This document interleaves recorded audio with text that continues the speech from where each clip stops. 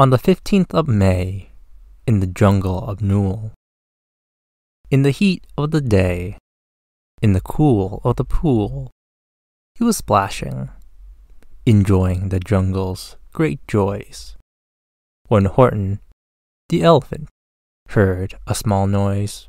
So Horton stopped splashing. He looked toward the sound.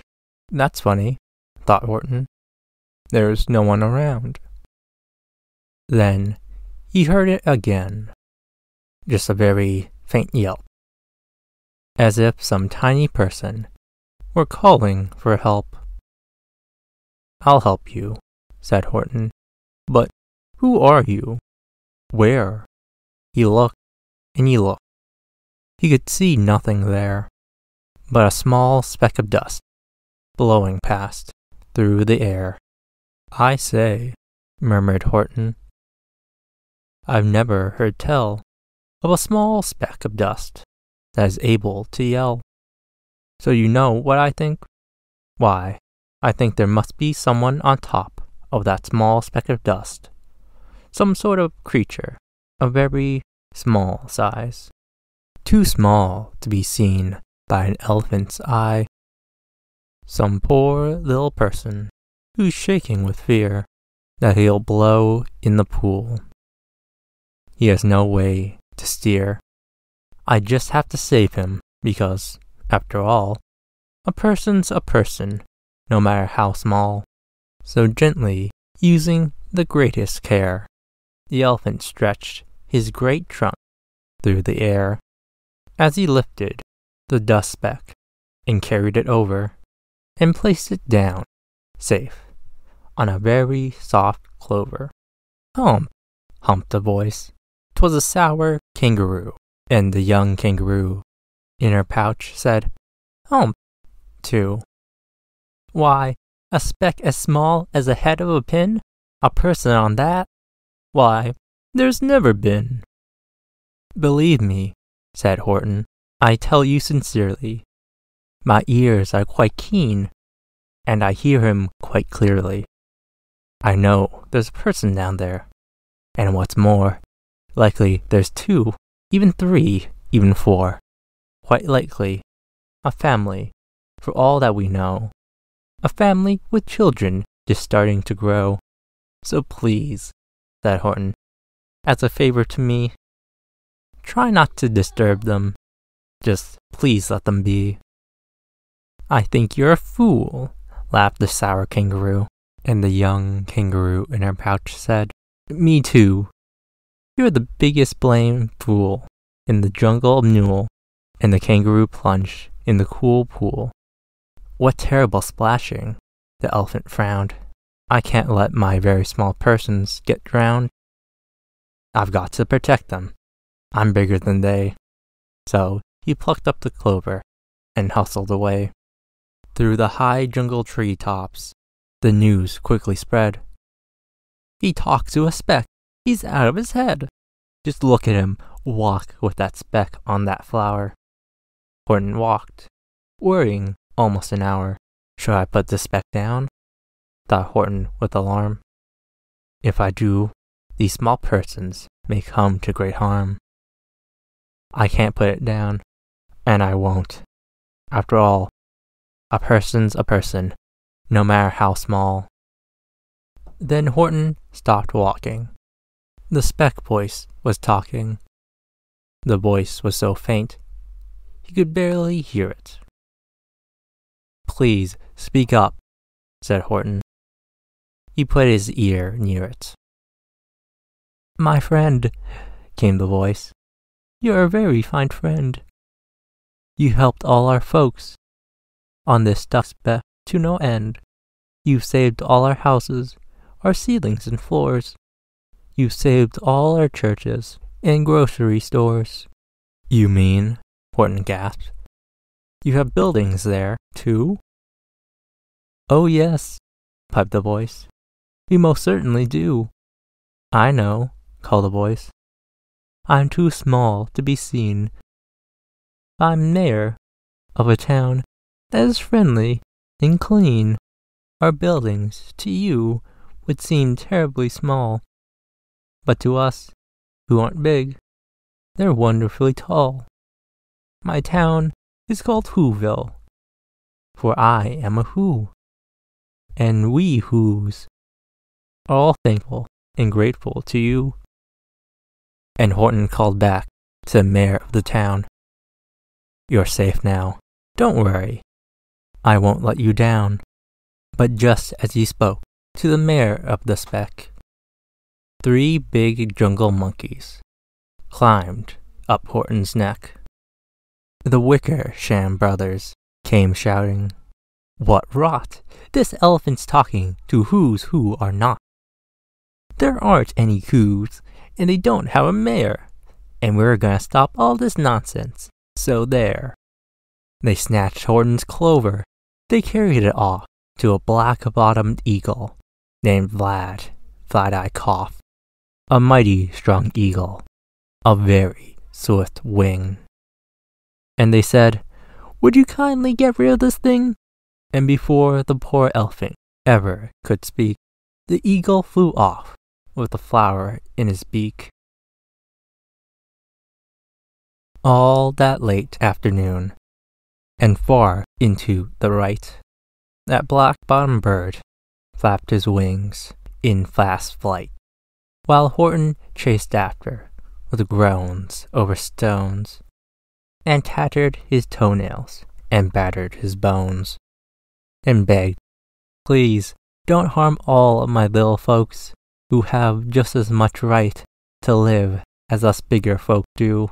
But far, far behind him, that eagle came flapping, and over his shoulders called back, Quit your yapping. I'll fly the night through. I'm a bird, I don't mind it, and I'll hide this tomorrow where you'll never find it. And at 6.56 the next morning, he did it. It sure was a terrible place that he hid it. He let that small clover drop somewhere inside of a great patch of clovers a hundred miles wide. Find that, sneered the bird. But I think you'll fail. And he left with a flip of his black bottom tail. I'll find it, cried Horton. I'll find it or bust. I shall find my friends on my small speck of dust, in clover by clover by clover with care. He picked up and searched them and called, Are you there?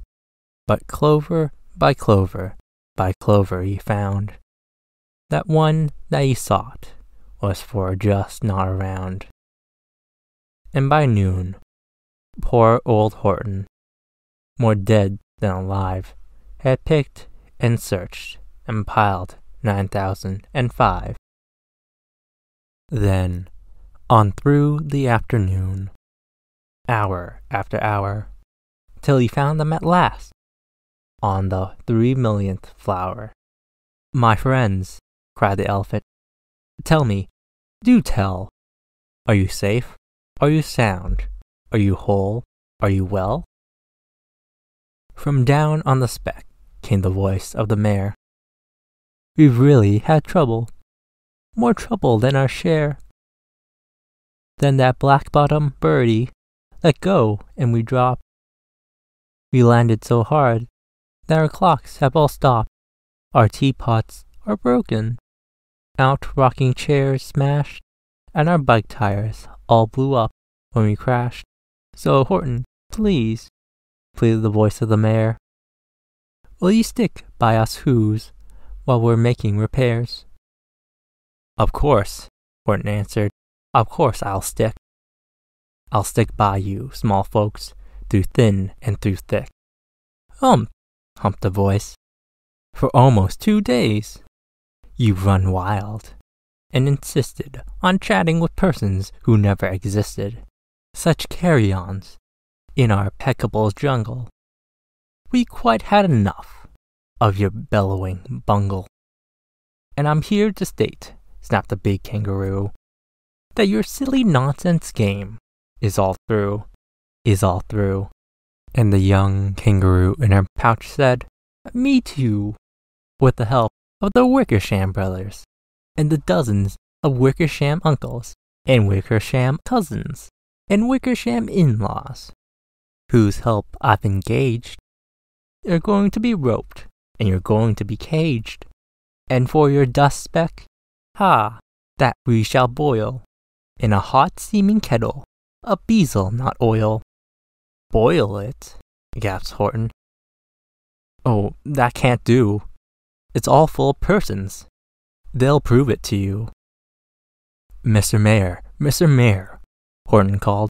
Mr. Mayor, you got to prove it now that you're really there. So call a big meeting, get everyone out.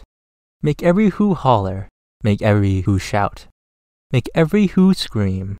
If you don't, every who is going to end up a Beezle nut stew. And down the dustback, the scared little mare. Quick called a big meeting in Whoville town square, and his people cried loudly.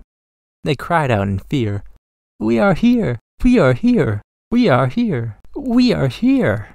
The elephant smiled. That was clear as a bell.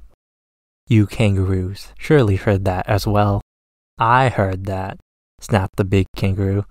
Was the breeze and the faint sound of wind through the distant trees. I heard no small voices, and you didn't either. And the small kangaroo in her pouch said, Me neither.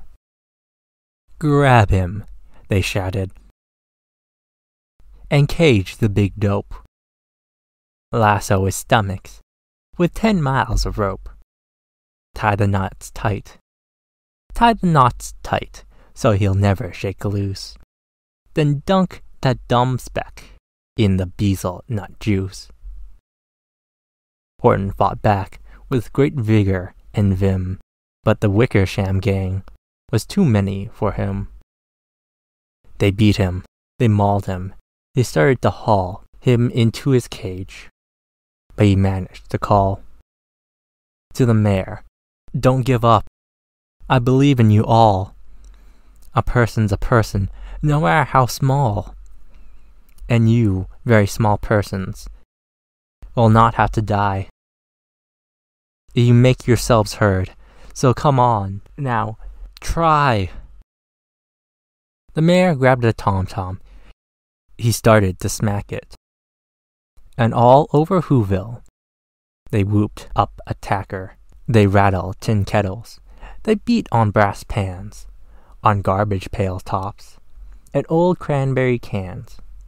They blew on bazookas and blasted great toots, on clarinets, oompans and boom pans and flutes. Great gusts of loud racket rang high through the air.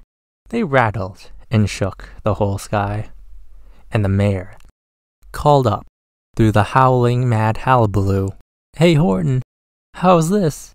Is our sound coming through? And Horton called back, I can hear you just fine, but the kangaroo's ears aren't as strong quite as mine. They don't hear a thing. Are you sure all your boys are doing their best? Are they all making noise? Are you sure every who down in Whoville is working? Quick, Look through your town. Is there anyone shirking? Through the town rushed the mayor, from the east to the west. But everyone seemed to be doing their best. Everyone seemed to be yapping or yipping. Everyone seemed to be beeping or bipping. But it wasn't enough. All this ruckus and roar, he had to find someone to help him make more. He raced through each building, he searched floor to floor, and just as he felt he was getting nowhere and almost about to give up in despair, he suddenly burst through a door that the mayor discovered. One shirker, quite hidden away. In the Fairfax Apartments, apartment 12J, a very small, very small shirker named Jojo was standing, just standing, and bouncing a yo yo. Not making a sound, not yipping, not a chirp. And the mayor rushed inside, and he grabbed the young twerp, and he climbed with the lad up the Eiffelberg Tower.